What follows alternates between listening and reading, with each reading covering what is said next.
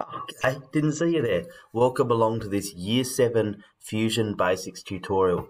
The video will be sitting here in your OneNote um, and it's going to go through how you can start to draw 2D shapes in Fusion 360. If we jump to Fusion 360 now, the very first thing we want to do is save. So you've already created, or if we go at the top here and click the save button, you should have already created a location called 2024 7 design and tech or whatever year you're in.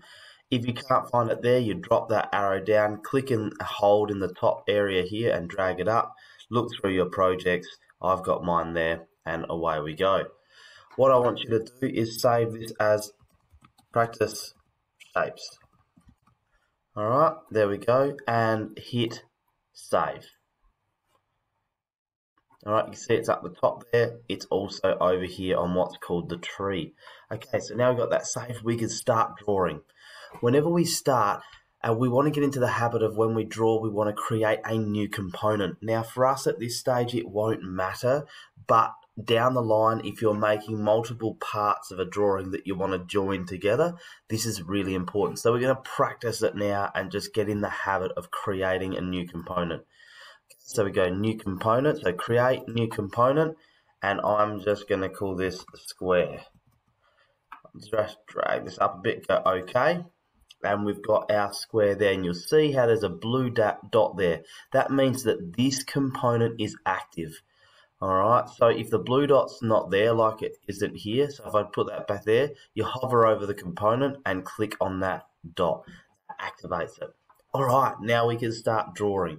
So whenever we start drawing, we start going with a 2D shape and we go create sketch. Now if it's not up here on that quick button, you click create and all of your options are here. You create sketch or that um, quick button.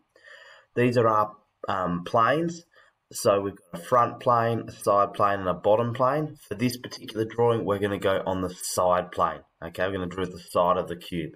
Click on that and it opens up into your drawing area. Now there's a couple of ways you can draw a square.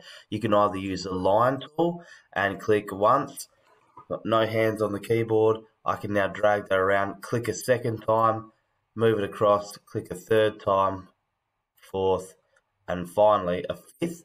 That's one way of doing it. If I undo that, the other way we could do it is just grab the two point rectangle click, and this is the origin. Sorry, I should have said that last time. We always start on the origin. Click once, drag it out, click again, there's my square. Now, that's not made to an accurate size yet. So the last thing we need to do is add what we call dimensions. And we need to go up here to the create option. Like before with the sketch, all your tools drop down. We want to go sketch dimension. Okay, there's a quick shortcut for that. If you hit the letter D on your keyboard, you won't need to go up and select it. So once you become um, really proficient in this, you'll just click the letter D.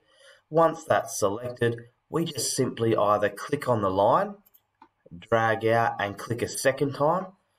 Uh, we need to now make that the right size. So I'll go back to our OneNote. It's 100 millimeters by 100 millimeters. Okay, cool. So we could go back to Fusion and just simply type in 100. You don't need the backspace because it's highlighted or automatically delete that when you start typing and hit enter. Here I can zoom with the scroll button on my mouse and I can also move it around the page by holding the scroll button on my mouse. So just some shortcuts you can learn. And then we could grab the bottom line here drag down and go 100 again. Now you'll notice that the lines are black now. That means it's completely dimensioned. I don't need to do this side because it's the same as that side. I don't need to do this side because it's the same as that side. Okay, it's all black. If I undo both of those, you'll see how it's blue there, and that's what happens when they dimension it. The other way, when you are dimensioning, if you don't click the whole line, you can click from one point to another point and it will do the same thing. So it's really up to you how you go about it, whether you click the line or the point. There we have it.